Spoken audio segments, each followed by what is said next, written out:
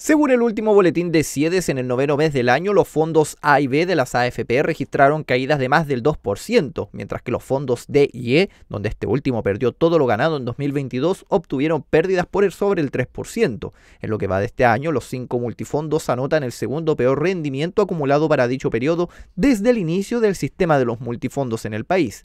Ante ello, parlamentarios de la región extendieron un llamado al gobierno para que hagan que las aseguradoras sean las que se responsabilicen de estas pérdidas, indicando que son miles las personas que han visto cómo sus ahorros se han visto afectados por estas pérdidas constantes. Estamos cansados de los abusos de la AFP. No puede ser que tengan un modelo que beneficia solamente a los dueños de la AFP, que se reparten la plata e impide que cuando cometen pérdidas, mala administración, le traspasen esos costos a las y los trabajadores, a las y los pensionados.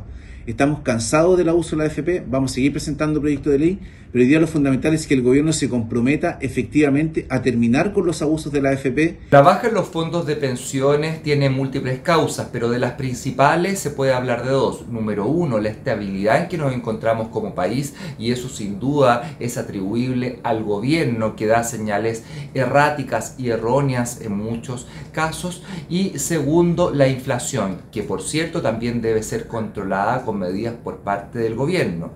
Y por lo tanto esperamos que esto se revierta para mejorar las pensiones de todos. Según indicaron los especialistas, la amenaza de una recesión mundial y las presiones inflacionarias que llevaron a los bancos mundiales a subir la tasa de interés impactaron en el mal desempeño de los multifondos de pensiones en septiembre. Ante ello, parlamentarios han solicitado al gobierno poner urgencia al proyecto de reforma constitucional a las pensiones, el cual busca por ley que sean las aseguradoras quienes se responsabilicen por las pérdidas de los cotizantes, proyecto de reforma que todavía no ha sido presentado y según indicó el mandatario estaba prometida para presentarse durante el presente 2022.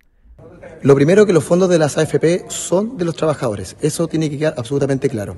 Y lo segundo, por supuesto que el Ejecutivo debe ingresar un proyecto para reformar lo que son las AFP y esperemos que eso suceda en el corto plazo. Por supuesto, estoy pendiente de esto, he estado también eh, conversando con algunos ministerios para que esto se pueda ejecutar, ojalá lo antes posible.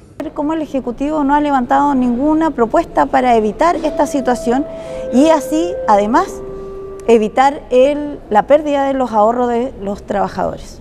Yo creo que aquí es un llamado importante a darnos cuenta de que los ahorros de nuestros chilenos no pueden seguir desapareciendo. Y eso necesitamos que venga una señal de parte del Ejecutivo para que ayude a sobrellevar esta situación, ya que aún esperamos una propuesta real y efectiva que tenga que ver con la administración de los fondos y eso no ha llegado aún. Compleja situación ante la que se enfrentan millones de chilenas y chilenos quienes ven con preocupación la crisis inflacionaria y cómo esto afecta sus ahorros previsionales. Los expertos ante ello recomiendan mantenerse en el mismo fondo de pensiones hasta que la situación esté más controlada. De momento queda esperar que el gobierno se pronuncie ante esta problemática y que el proyecto de reforma esperado por muchos sea promulgado en el corto tiempo, para que así cada vez que haya pérdidas en los fondos previsionales sean las aseguradoras quienes deban responder y no los cotizantes viendo cómo sus ahorros previsionales son cada vez más mermados.